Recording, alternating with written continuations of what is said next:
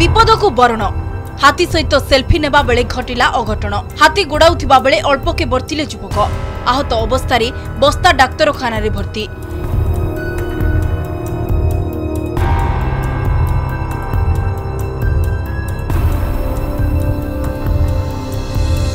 ବାଲେଶ୍ୱର ସରଡିଆ ଜଙ୍ଗଲ ଉପକଣ୍ଠକୁ ଚାଲିଆସିଛନ୍ତି ସତୁରିଟି ଝାଡ଼ଖଣ୍ଡି ହାତୀ। ରାସଗୋବିନ୍ଦପୁର ପୁରୁଣା ପାଣି ବେତନାସିଆ ଆଦି ଜଙ୍ଗଲରେ ହାତୀପଲ ଘୁରି ବୁଲୁଛନ୍ତି ବସ୍ତା ଈଶ୍ୱରପୁର ବିଦ୍ୟାଧରପୁର ମହାଦେବସରାଇ ଅମରଦା ରୋଡ ନାରାୟଣପୁର ବସନ୍ତପୁର ସଦାନନ୍ଦପୁର ଆଦି ଅଞ୍ଚଳରେ ବ୍ୟାପକ ଫସଲ ନଷ୍ଟ କରୁଛନ୍ତି।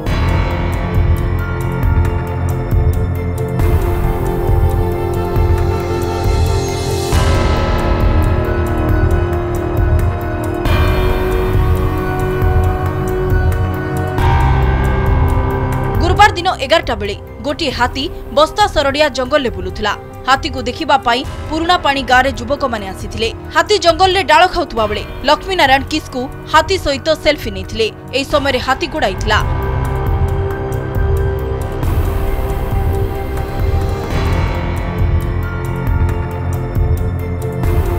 ଲକ୍ଷ୍ମୀନାରାୟଣ ପ୍ରାଣ ବିକଳରେ ଦୌଡୁଥିବା ବେଳେ ଲଟାରେ ଛନ୍ଦି ହୋଇ ତଳେ ପଡିଯାଇଥିଲେ ହାତୀଟି ତାଙ୍କୁ ଆକ୍ରମଣ କରିଥିଲା ହେଲେ ସେ କୌଣସି ପ୍ରକାରେ ଜୀବନ ବଞ୍ଚାଇ ପଳାଇଥିଲେ।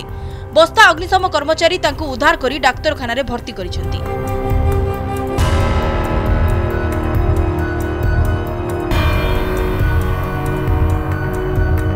ଝାଡ଼ଖଣ୍ଡି ହାତୀ ବସ୍ତା ଅଞ୍ଚଳରେ ଉତ୍ପାତ କରୁଥିବାରୁ ଅଞ୍ଚଳବାସୀ ଭୟଭୀତ ଅବସ୍ଥାରେ ରହିଛନ୍ତି। ଜଙ୍ଗଲ ନିକଟବର୍ତ୍ତୀ ଗାଁଗୁଡ଼ିକରେ ସଞ୍ଜ ହେଉ ହେଉ ତାଟି କବାଟ ପଡ଼ିଯାଉଛି। ସେପଟେ ବନ ବିଭାଗ କର୍ମଚାରୀ ହାତୀ ଘଉଡ଼ାଇବା କାର୍ଯ୍ୟରେ